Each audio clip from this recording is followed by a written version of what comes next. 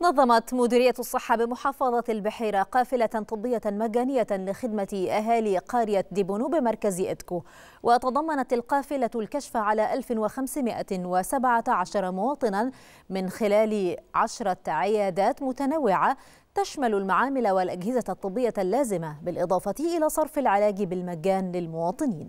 يأتي ذلك استمرارا لعمل القوافل الطبية المجانية التي تهدف إلى تقديم الخدمات الصحية المتميزة للمواطنين في مختلف القرى والعزب والنجوع.